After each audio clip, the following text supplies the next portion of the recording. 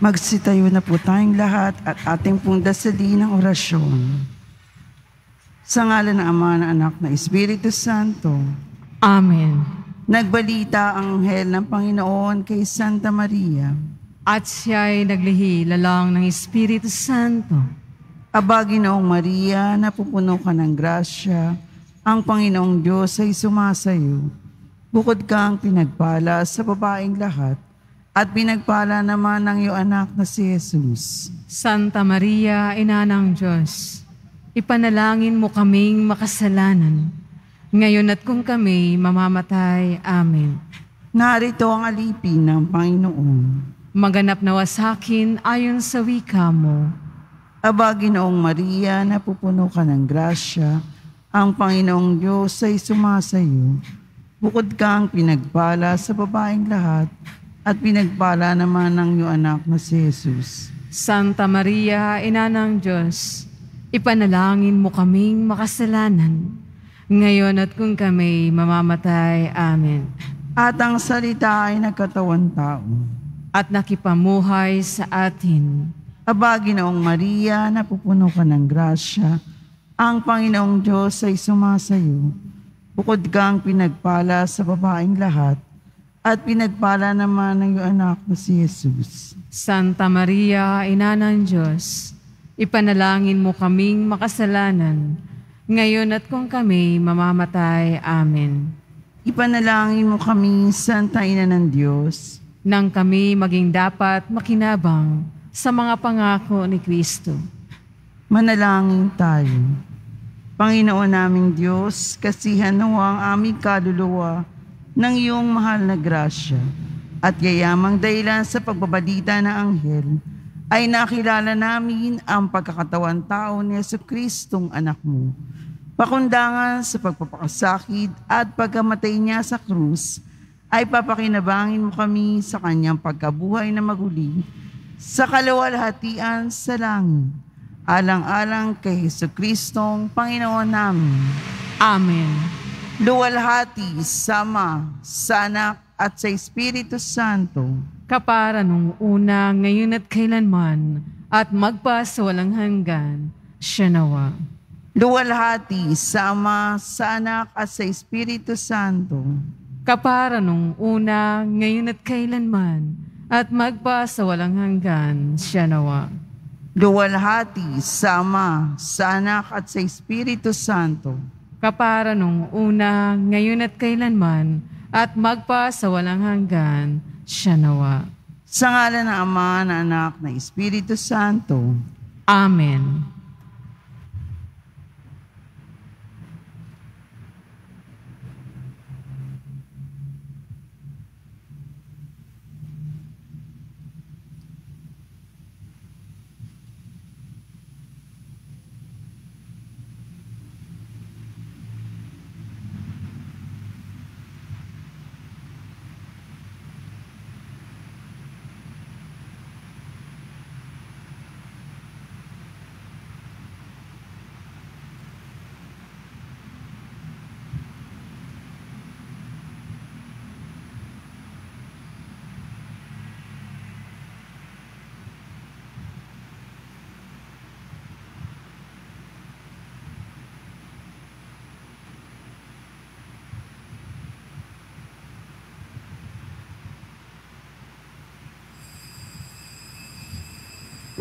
Magsitayo na po ang lahat.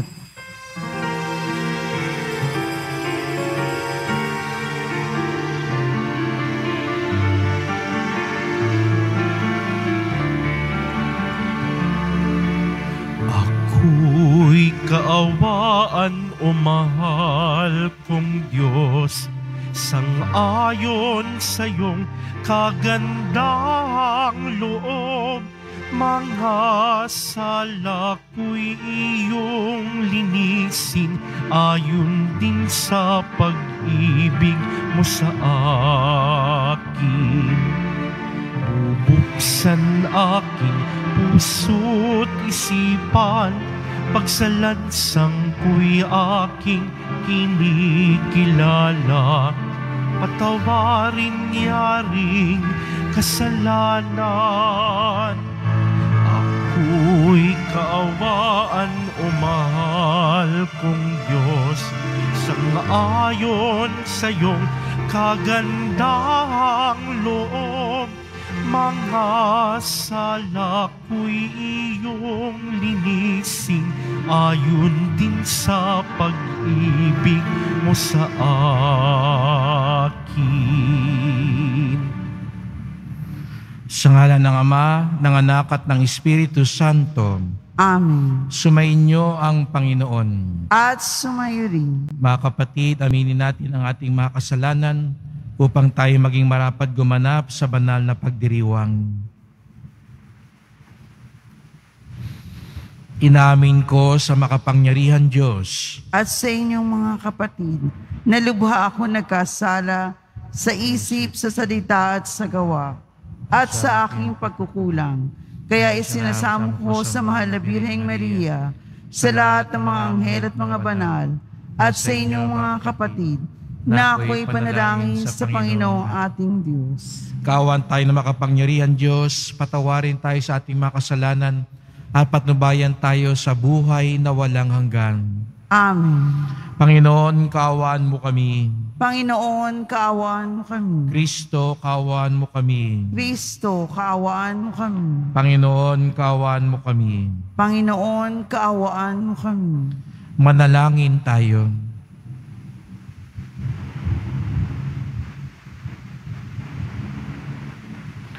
Ama naming makapangyarihan, silayan mo ang kalooban naming pinababanal ng kusa naming pagpapakasakit para sa pagbabagong buhay. Paunlakan mong pakinggan ang aming mga kahilingan, pakundangan sa pagbubunsod mong ikaw ay aming paglilingkuran. Sa pamamagitan ng Yesu Kristo, kasama ng Espiritu Santo, magpasawalang hanggan. Amen. Magsiupo muna po ang lahat. Pagbasa mula sa aklat ni Propeta Daniel. Noong mga araw na iyon, sinabi ni Haring Nabucodonosor, Sadrak, Mesak at Abednego, Totoo bang hindi kayo sumasamba sa rebultong ipinagawa ko? Tanong ng hari. Iniuutos ko sa inyong sumamba kayo sa ipinagawa kong rebulto. Sa sandaling marinig ninyo ang tunog ng mga instrumento. Kung hindi, ipahahagis ko kayo sa nag- naglalagablab na pugon. Tignan ko lang kung may Diyos na makapagliligtas sa inyo. Sinabi ni na Sadrak, Mesak, Abednego, Mahal na hari, wala po kaming itututol sa inyo tungkol sa mga bagay na ito. Gawin ninyo, iyan ang gusto ninyo. Ang Diyos na aming pinaglilingkuran ang magliligtas sa amin sa pugong iyon at sa inyong kapangyarihan. At kung hindi man niya gawin ito, hindi pa rin kami sasamba sa rebultong ipinagawa ninyo. Namula si Haring Nabucodonosor sa tindi ng galit kina Sadrak, Mesak at Abednego. Kaya iniutos niyang painitin makaip, makaip, makapitong ibayo ang pugon. Iniutos din niya sa pinakamalalakas niyang tauhan nagapusin sina Sadrak, Mesak at Abednego at ihagis sa apoy. Walang ano-ano na palundag si Haring Nabucodonosor. Pamanghang itinanong niya sa kanyang mga tagapayo, Hindi ba tatlo lamang ang inihagis sa apoy? Opo, kamahalan, sagot nila.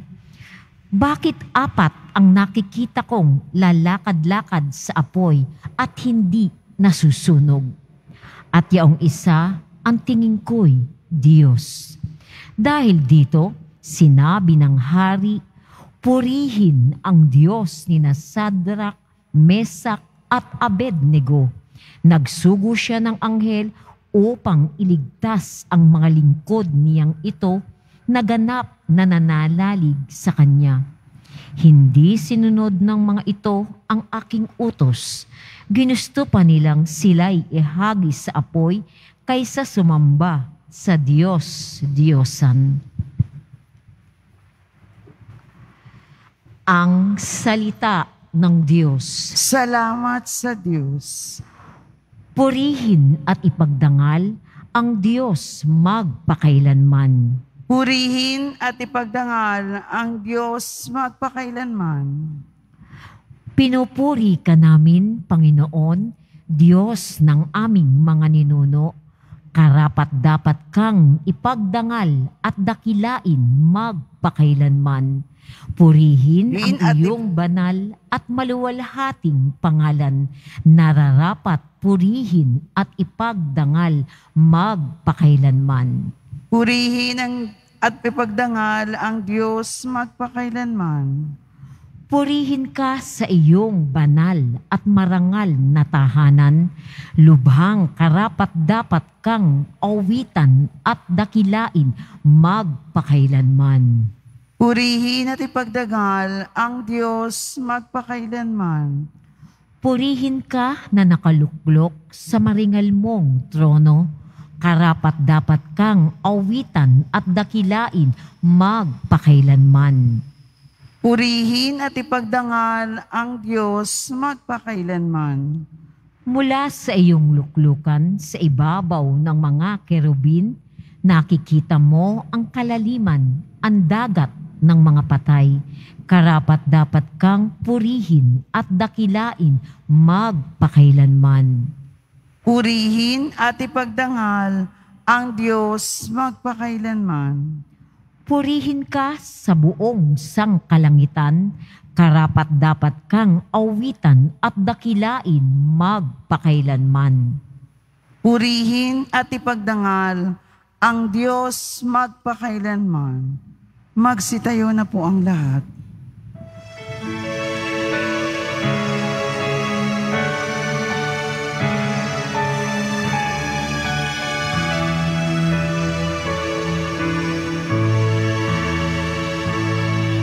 Nagpupuri kami sa'yo, Panginoong Hesu Kristo. Nagpupuri kami sa'yo, Panginoong Hesu Kristo. Mapalad ang nag-iingat sa kanyang pusong matapat ng salitang nagbubuhat sa poong Diyos ng liwanag sa tiyagay aaning ganap. Nagpupuri kami sa'yo, Panginoong Kristo.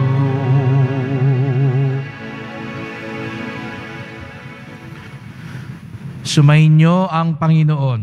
At sumayo rin. Ang pagpapahayag ng mabuting balita ng Panginoon ayon kay San Juan. Papuri sa iyo, Panginoon. Noong panahong iyon, sinabi ni Jesus sa mga Hudyong naniniwala sa Kanya, Kung patuloy kayong susunod sa aking aral, tunay ngang kayo'y mga alagad ko. Makikilala ninyo ang katotohanan at ang katotohanan ang magpapalaya sa inyo. Lahi kami ni Abraham, tugon nila, at kailan may di kami naalipin ni numan. Paano mo masasabing palalayain kami? Sumagot si Jesus, Tandaan ninyo, alipin ng kasalanan ang lahat na nagkakasala. Ang alipin ay hindi kabilang sa sambayanan sa habang panahon, subalit ang anak ay kabilang magpakailanman. Kung kayo'y pinalaya ng anak, tunay nga kayong malaya. Nalalaman kong lahi kayo ni Abraham, gayon may pinagsisikapan ninyo akong patayin sapagkat walang pitak sa inyong puso ang aral ko. Sinasabi ko, ang aking nakikita sa aking ama, ginagawa naman ninyo ang inyong naririnig sa inyong ama. Sumagot sila, Si Abraham ang aming ama. Kung kayo'y mga anak ni Abraham, tutularan ninyo ang kanyang ginawa, ani Jesus. Ngunit pinagsisikapan ninyo akong patayin Gayong sinasabi ko lamang ang katotohanang naririnig ko sa Diyos. Hindi ganyan ang ginawa ni Abraham. Ang ginagawa ninyo'y tulad ng ginawa ng inyong ama. Hindi kami mga anak sa labas, tugon nila. Ang Diyos ang aming ama. Sinabi ni Jesus, kung talagang ang Diyos ang inyong ama, iibigin ninyo ako sapagkat nagmula ako sa Diyos. Hindi ako naparito sa ganang sarili ko lamang, kundi sinugo niya ako.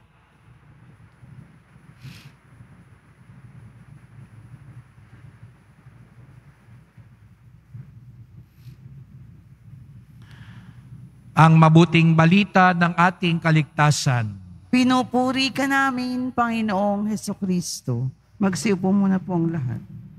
Magandang umaga po sa inyong lahat at maligayang pagdating sa tahanan ng ating mahal na pong Jesus sa Sareno. Binabati din po natin ang mga kasama natin online, lalo na po ang mga may sakit at ang mga nag-aalaga sa may sakit at mga kababayan natin, mga kadeboto natin mula sa iba't ibang panig ng bansa at daigdig na nais sumama sa pagdiriwang ng ating banal na misa dito sa ating simbahan sa Quiapo. Patuloy tayong naglalakbay, papalapit ng papalapit ang mga mahal na araw. At dito makikita natin na isa sa dahilan kung bakit inusig, hinuli, pinahirapan at pinatay si Jesus sa Sareno ay dahil hindi lamang ayaw siya ng kanya mga kaaway.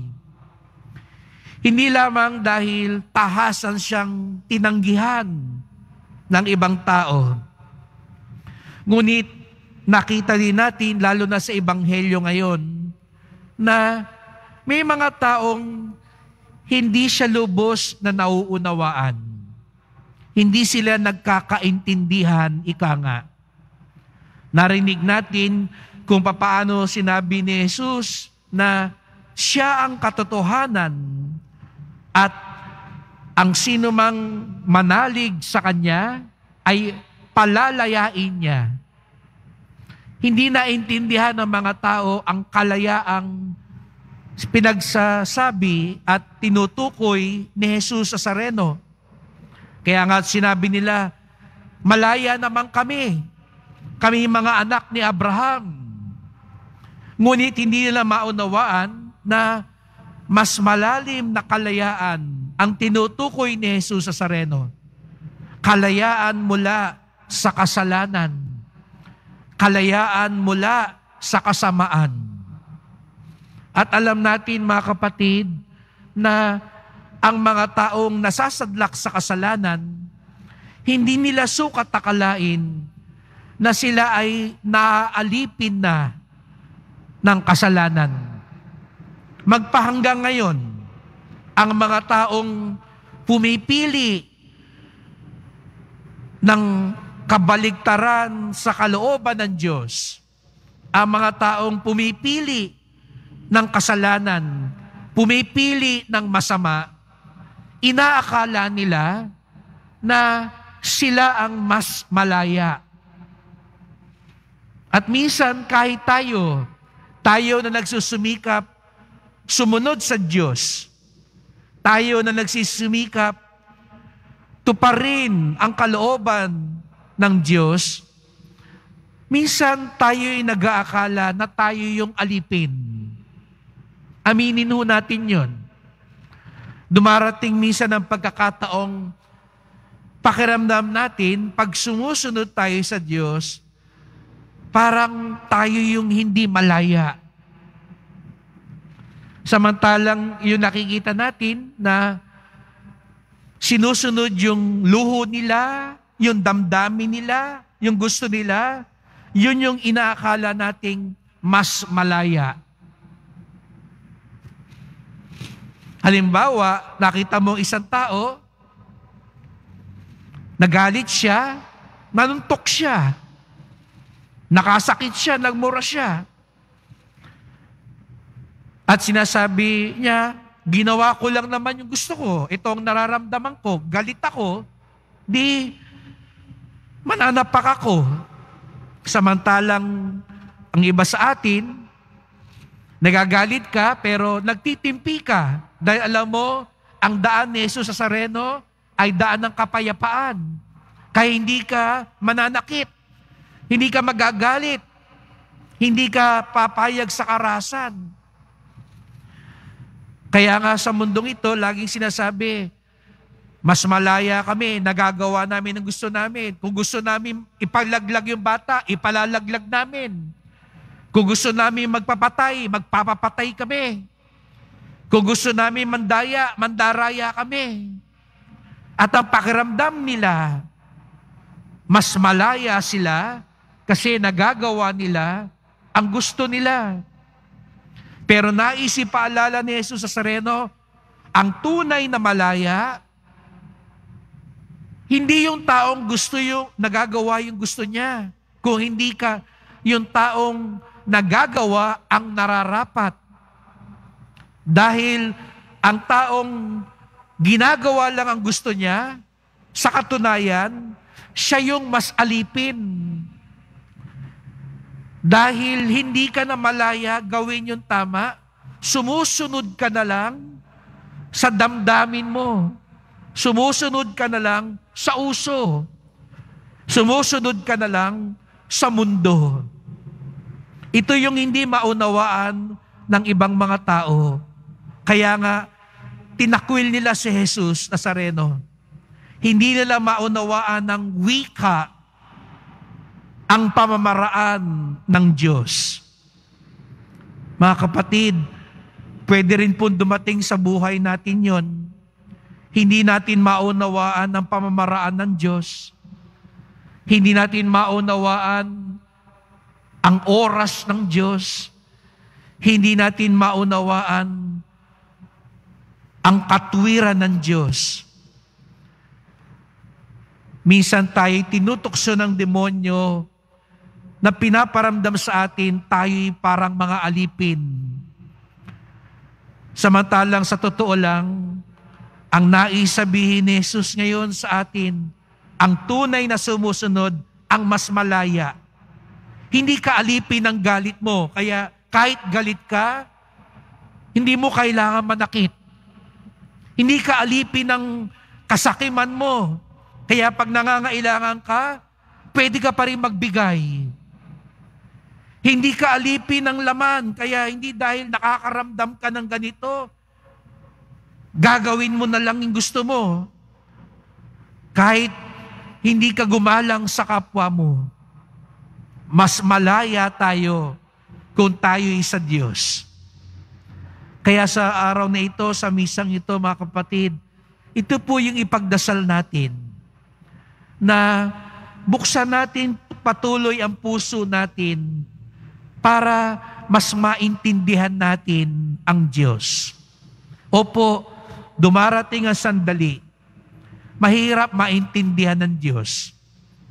May sarili tayong plano, orasan, may sarili tayong sukatan, ngunit hayaan natin ipakilala lalo sa atin ni Jesus ang pamamaraan ng Ama upang sa gayoy hindi katulad ng mga tao sa Ebanghelyo ngayon na tinalikuran si Jesus.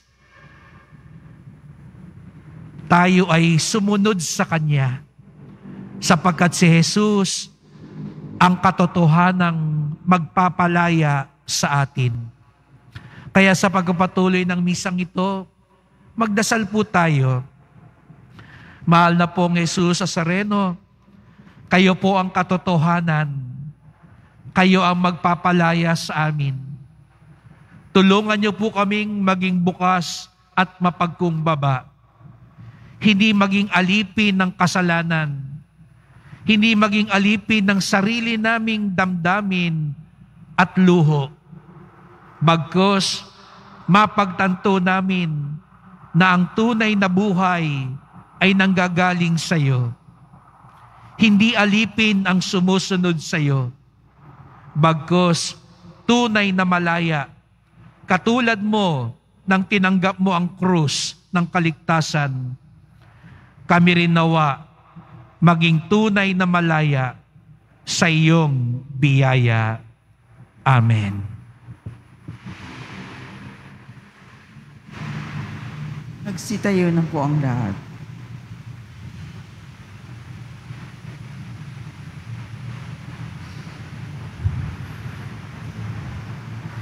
Minamahal ko mga kapatid, ang Diyos ang walang hanggang pinagmumula ng katotohanan, kalayaan at lakas.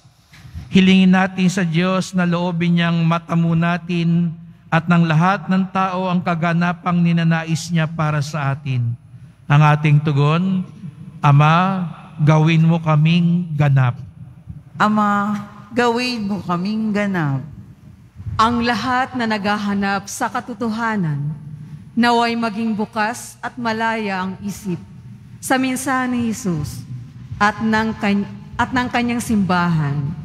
Manalangin tayo. Ama, gawin mo kaming ganap. Ang ta- ating mga taimtim na gawain ngayong kwarisma, naway makatulong upang palayain tayo sa pagkaalipin ng labis na pagpapahalaga sa sarili. Manalangin tayo. Ama, gawin mo kaming ganap. Ang ating pagkaabala sa materialismo na umiiral sa ating panahon, naway hindi makahadlang sa ating paghahanap sa buhay na mulang hanggan. Manalangin tayo. Ama, gawin mo kaming ganap. Ang mga may sakit, mga dukha, mga bilanggo, mga walang kaalaman, at lahat na nagdurusa, naway makatagpo ng paglaya mula sa mga pasanin nila sa buhay. Manalangin tayo. Ama, gawin mo kaming ganap. Tahimik nating idulog ang iba nating mga kahilingan.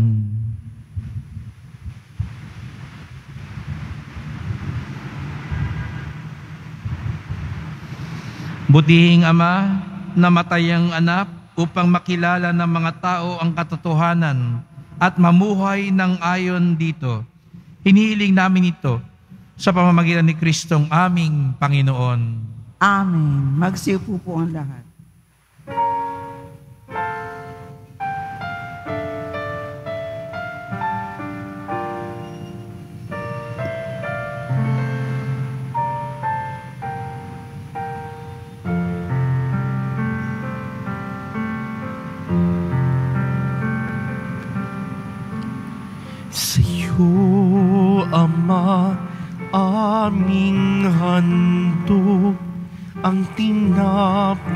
At alak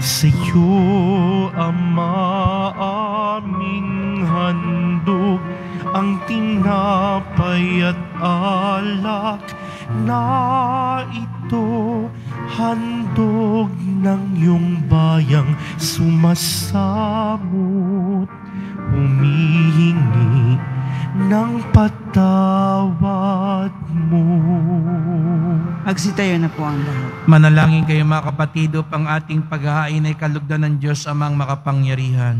Tanggapin nawa ng Panginoon itong paghahain sa iyong mga kamay, sa kapurihan niya at karangalan, sa ating kapakinabangan at sa buong sambayanan niyang banal. Ama naming lumikha, may talaga nawa namin sa iyo ang gagawing paghain ng iyong ibinigay upang aming maialay din sa layunin aming sambahin ng ngalan mo upang ang kagalingan namin ay makamtan mula sa iyo sa pamamagitan ni Yesu Kristo kasama ng Espiritu Santo magpasawalang hanggan.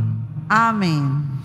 Sumainyo ang Panginoon. At sumayo rin, Taas sa Diyos ang inyong puso at diwa. Itinaas namin sa Panginoon. Pasalamatan natin ang Panginoong ating Diyos. Marapat na siya ay pasalamatan. Ama naming makapangyarihan, tunay ngang marapat na ikaw ay aming pasalamatan sa pamamagitan ni Kristo na aming Panginoon sa pagpapakasakit ng giliw mong anak, ang sangkatauhay minarapat mong magpahayag ng iyong dakilang pag-ibig sa lahat na pawang nais mong tubusin ng Mesiyas sa harap ng iyong kadakilaan, kapos ang dila naming magsaysay sa pag-ibig na makapangyarihan sa krus ay itinanghal. Sa krus ipinasyang patawari ng mga tao. Sa krus nagtagumpay ang ipinakong Kristo. Kaya kaisa ng mga anghel nagsisiawit ng papuri sa iyo nang walang humpay sa kalangitan, kami nagbubunyi sa iyong kadakilaan. Santo, Santo, Santo, Panginoong Diyos na mga hukbo, napupuno ang langit at lupa ng kadakilaan mo. O sana sa kaitaasan, pinagpala ang naparirito sa ngalan ng Panginoon. O sana sa kaitaasan, magsilot po ang lahat. Sa ating pagsisimba, ipagdasal natin, tunay tayong maging malaya at nararapat sa Diyos. Ama naming banal, ikaw ang bukal ng tanang kabanalan. Kaya't sa pamamagitan ng Espiritu, gawin mo banal ang mga kaloob na ito upang para sa amin maging katawan at dugo ng aming Panginoong Heso Kristo. Bago niya pinagtiis ang kusang loob na maging handog, hinawakan niya ang tinapay, pinasalamatan kanya, pinaghati-hati niya yon iniabot sa kanya mga lagad at sinabi, Tanggapin ninyo lahat ito't kanin, ito ang aking katawan na ihandog para sa inyo.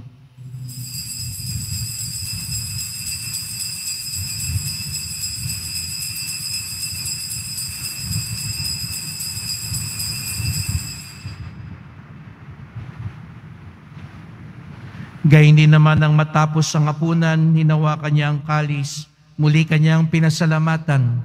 Iniabot niya ang kalis sa kanyang mga alagad at sinabi, Tanggapin ninyong lahat ito't inumin. Ito ang kalis ng aking dugo, ng bagot walang hanggang tipan. Ang aking dugo na ibubuhos para sa inyo at para sa lahat sa kapagpapatawad ng mga kasalanan. Gawin niyo ito sa pag-alaala sa akin.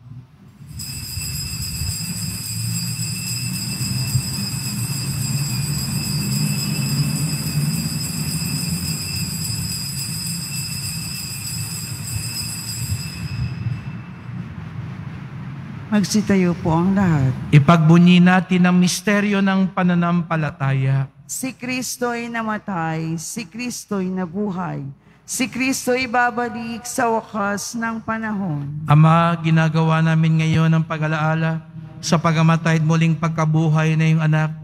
Kaya tinalay namin sa iyo ang tinapay nagbibigay buhay at ang kalis na nagkakaloob ng kaligtasan.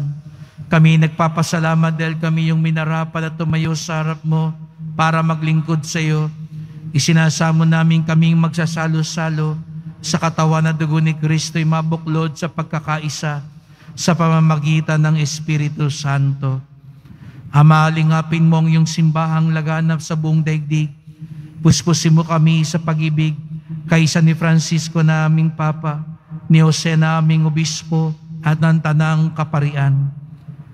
Alalahanin mo rin ang mga kapatid naming nahimlay na may pag-asang sila'y muling mabubuhay, gayon din ang lahat ng mga pumanaw. Kawan mo sila at patuloyin sa iyong kaliwanagan.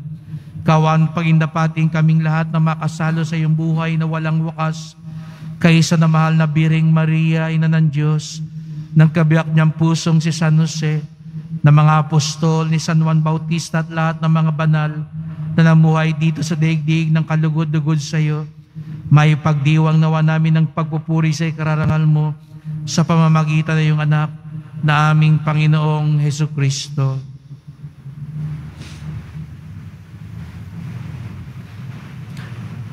Sa pamamagitan ni Kristo, kasama niya at sa Kanya, ang lahat ng parangal at papuri ay sa iyo, Diyos amang makapangyarihan, kasama ng Espiritu Santo, magpasawalang hanggan.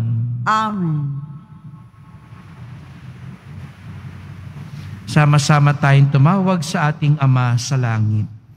Ama, Ama namin, sumasalangit ka. Sambahin ang ngalan mo. Mapasa amin ang kaharian mo. Sundin ang loob mo dito sa lupa para ng salang.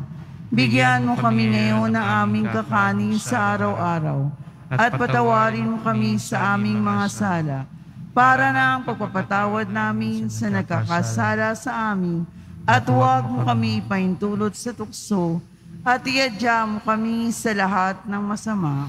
Hinihiling namin kami adya sa lahat ng masama, pagkalooban ng kapayapaan araw-araw, iligtas sa kasalanan, ilayo sa lahat ng kapahamakan, samantalang aming pinananabikan ng dakilang araw ng pagpapahayag ng tagapagligtas naming si Yesu Kristo.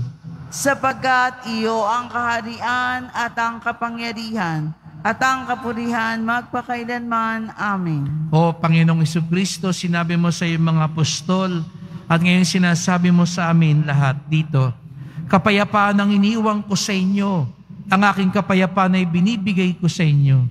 Tunghayan niyo po ang aming pananampalataya, huwag po ang aming mga kasalanan.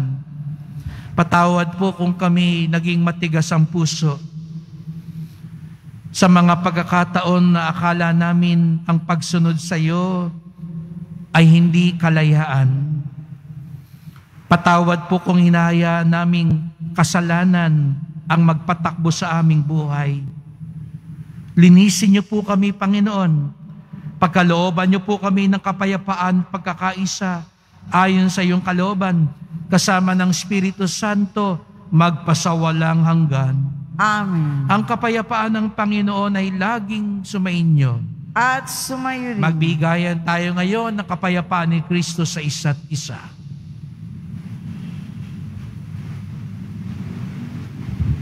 Kordero ng Diyos na nag-aalis ng mga kasalanan ng sandibutan, maawa ka sa amin. Kordero ng Diyos na nag-aalis ng mga kasalanan ng sandibutan, maawa ka sa amin. Kordero ng Diyos na nag-aalis ng mga kasalanan ng sandibutan, ipagkaloob mo sa amin ang kapayapaan. Magsiluhod po ang Narito si Yesu Kristo, ang kordero ng Diyos, nag-aalis ng mga kasalanan sa sanlibutan. Mapapalad ang inaanyayahan sa kanyang piging.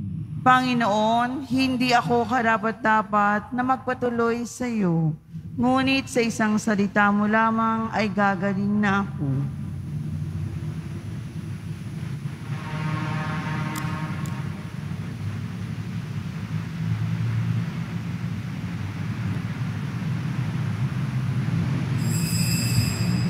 Para sa lahat ng tatanggap ng banal na komunyon, ang tamang paraan ng pagtanggap ay kaliwang kamay sa ibabaw ng kanang kamay.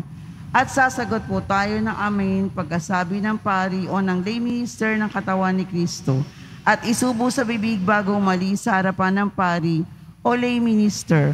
Sumunod po tayo. Maraming salamat po.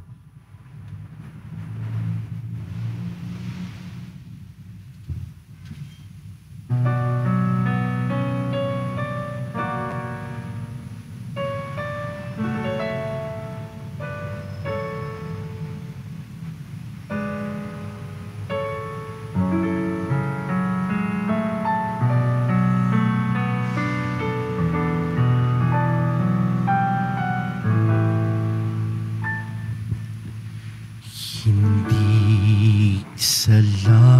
langit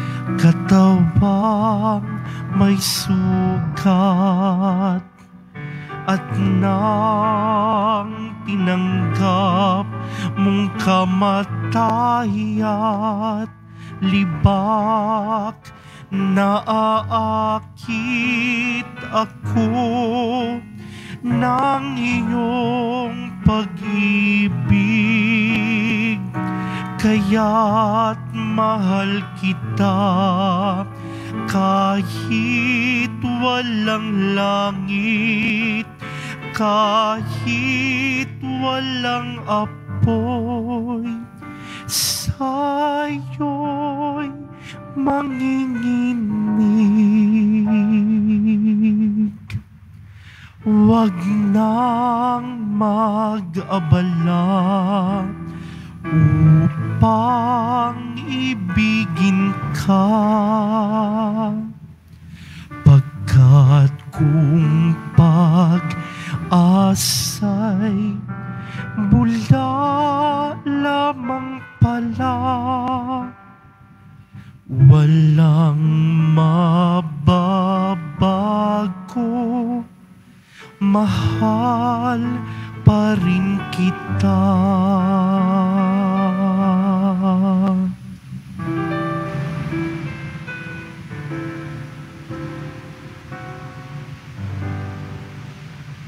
Mga paalala sa mga nagsisimba, pinapaalalahanan ang lahat na huwag maging kampante sa banta ng COVID-19.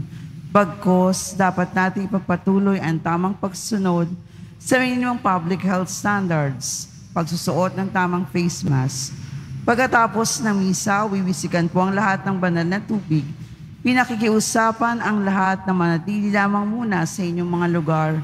Tanging sa Quezon Boulevard o sa Plaza San Juan, ang labasan ng lahat. Sumunod po tayo.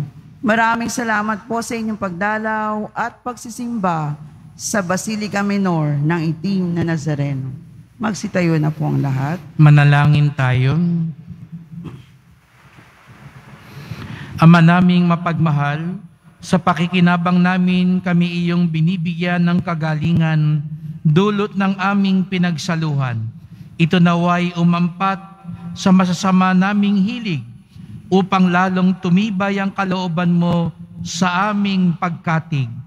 Sa pamamagitan ni Yesu Kristo, kasama ng Espiritu Santo, magpasawalang hanggan. Amen. Salamat po sa inyong pagpunta at tulong sa ating simbahan, sa mga pamisa, love offerings, online donations, sa mga nagdadala po dito ng bigas, dilata, at iba pang pang-ayuda sa ating mga kapatid na nasalanta at nangangailangan. Ang ating debosyon sa Poong Nazareno ay hindi lamang sa dasal, kundi lalo't nakikita sa ating pagmamahal at pagmamalasakit sa ating kapwa. Ating tandaan, ang tunay na kalayaan ay matatagpuan sa pagsunod sa kalooban ng Diyos, katulad ng ipinakita ni Jesus sa Sareno, sapagkat sa Diyos lamang matatagpuan ang katotohanan at kalayaan. Sumainyo ang Panginoon. At sumayri. Mahal na pong Jesus sa Sareno, iniyayag mo sa pamamagitan ng krus ang walang maliw na pag-ibig ng Diyos sa sangkatauhan.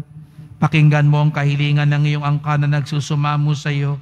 Makamtanawa nila ang iyong katugunan at tanggapin ang kasagutan ng may utang na loob na tinatanaw. Basbasan din po ninyo mga daladala nila mga imahin at dasalan sa pamamagitan ng bendisyon na ito. Naway maalala nila mga pangako nila noon sa binyag na ikaw ang kanilang ibigin at paglilingkuran bilang Panginoon magpasawalang hanggan. Amen. At pagpalain kayong lahat ng makapangyarihang Diyos, Ama at Anak at Espiritu Santo. Amen. Pumayo kayong taglay ang kalayaan ng pong Jesus Nazareno. Salamat sa Diyos.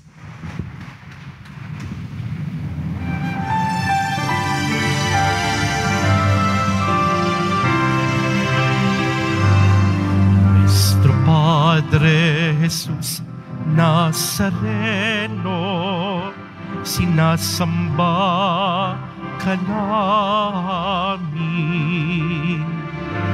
Pinipintuho ka namin. Aral mo ang aming buhay at kaligtasan. Nuestro Padre Jesus Nazareno, iligtas mo kami sa kasalanan. Ang krus mong kinamatayan ay sagisag ng aming kaligtasan. Nuestro Padre Jesus Nazareno, dinarangal ka na amin. Nuestro Padre Jesus Nazareno, nilulwalhati ka namin. Nuestro Padre Jesus Nazareno, dinarangal ka na amin. Nuestro Padre Jesus Nazareno, nilulwalhati ka namin.